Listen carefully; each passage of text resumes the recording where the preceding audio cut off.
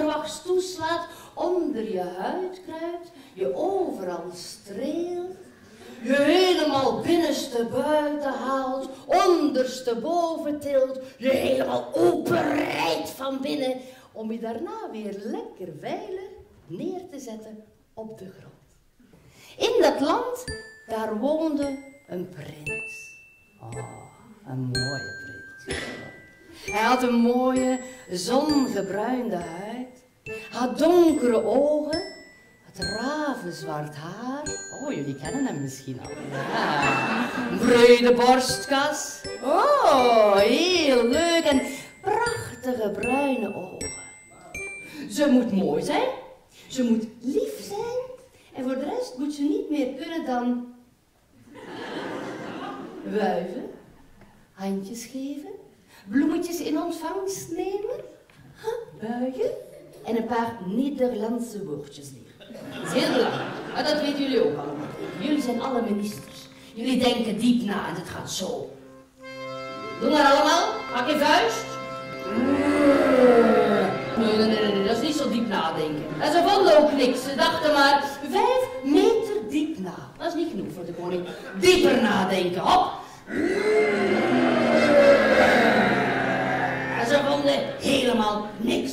Met zijn lange pianovingers greep hij ook zijn hart uit zijn borstkas. En hij pakte daar een klein scheurtje uit en hij gaf het aan het drakenmeisje. En het drakenmeisje pakte het en ze stopte het in haar hart, in een klein gaatje in haar hart. En toen hield ze haar hart naar de kroonluster en ze pakte het lelijkste stukje. En ze gaf het aan prins Parel. En prins Parel pakte het en zei, cool. En hij stopte het in zijn hart. En op dat moment stopte zijn eigen harten bij elkaar naar binnen. En daar zag de koning en de koningin. Je hoorde harakiri uit Japan. Je hoorde amuse Uit Duitsland. Ken je dat nog? Vertel eens een heel speciaal woord uit jouw land. Wat? Tagine. Oh, heerlijk. Kamerstapel? En wat betekent het? Dat is altijd. En wat betekent het? Is het iets erotisch? Nee? Een machine. Hier, in dit deel van de machine, hier kwamen alle betoverende klanken terecht. Als ik hier aan deze machine kom, dan zeggen jullie allemaal... Ja? Gaat dat lukken? Probeer eens. Dus tot hier, de, de vier en dan gaat het... Oké, 1, 2, 3. Ja, maar daar, de- daar doen ze niet meer mee, hè? De tweede, de tweede. Hier kwam de stoom binnen in de machine. Als ik hier kom, dan doen jullie allemaal...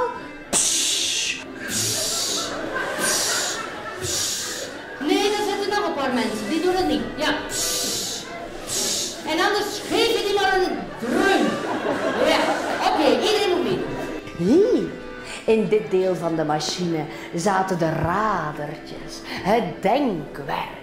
Jullie doen allemaal... Jullie doen?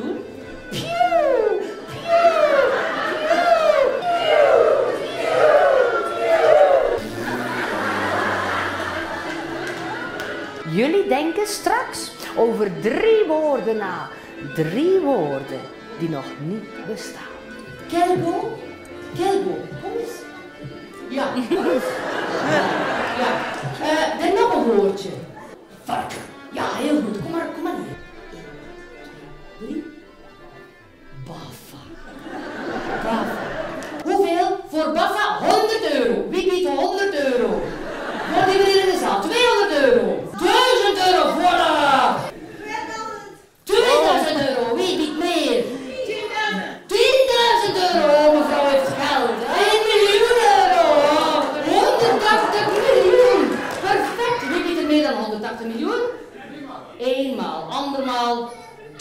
verkocht.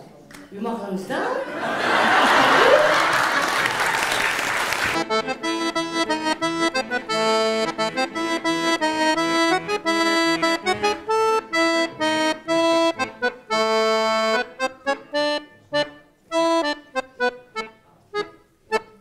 En ze deden de gekste dingen met elkaar.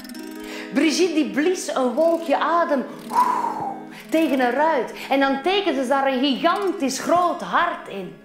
En Ingmar deed hetzelfde, alleen een klein beetje een kleiner hart, want hij had wat last van astma.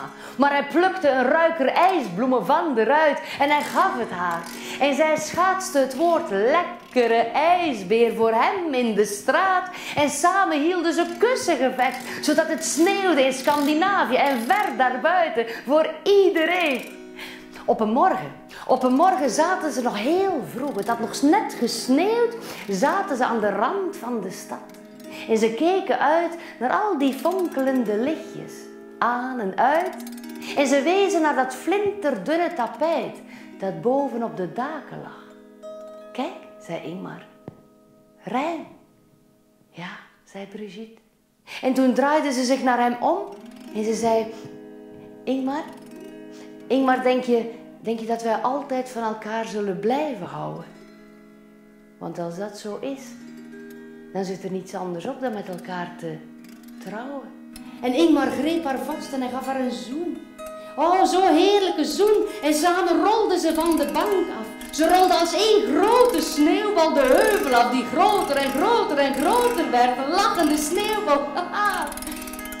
het sneeuwt weer in zijn hoofd, klonk het de volgende dag. Meneer Ingmar, meneer Ingmar, vlug! Ze liepen naar beneden naar die diepvrieskeuken. Ze draaiden de deur open, ze deden hem weer dicht. En de mensen kwamen de trap af en ze bouwden grote ijsblokken. Acht, negen, tien grote ijsblokken voor de deur. Ze bouwden een fort van ijs. En Ingmar wist niet wat er harder klonk. Het gebons van een hart en een keel of het gebons van de vuisten op de deur. En pas een uur later lukte het de verplegers eindelijk om de deur los te breken. Gebarricadeerd zat ze onder een hele hoop dozen van het archief. Ze duwden de dozen weg en, en daar zagen ze Ingmar liggen. In die ijskoude kelder. In januari. Bij 15 graden onder nul.